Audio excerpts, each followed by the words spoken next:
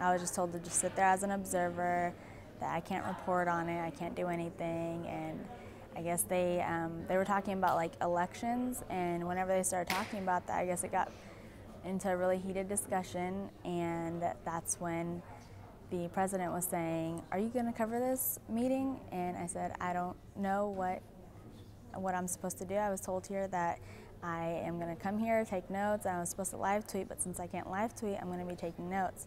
So she said, "I'm going to figure this out right now," and stormed out. And uh, she was telling me to leave as well, but I just stayed there as a journalist, doing what I was told to do.